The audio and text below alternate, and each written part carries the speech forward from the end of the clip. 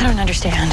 How can Emma destroy light magic using Zelena? She can't. What is she planning? Your guess is as good as mine. All I know is no one hurts my sister but me. What are you planning to do once you find Emma? Oh, it's simple.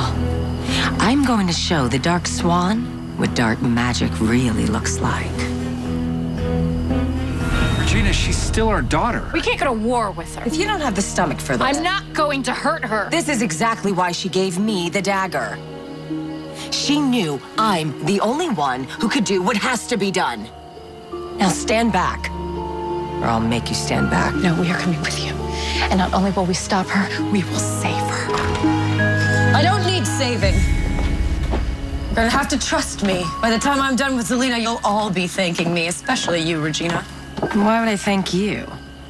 You don't remember this, but back in Camelot, you helped me admit some things about myself. And now I'm ready to repay the favor. Because deep down, we both know you'll be happier when Zelena is gone. Gone? This is not the way, Miss Swan, and you know it. We're back to Miss Swan. We'll start acting like Emma again and we'll talk.